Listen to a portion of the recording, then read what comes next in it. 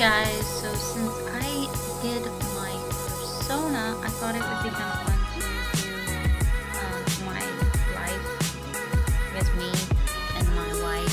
Uh. Me and my wife and my kids. Um, you will see me pull up a picture of myself constantly. I was planning to do that with my wife, but I kind of literally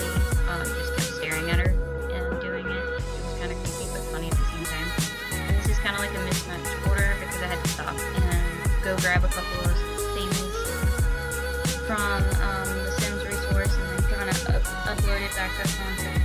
If you play Sims, you understand that you tend to get on and off the Sims and you can find your CC that you want. So I just kept having to go download CC that I needed.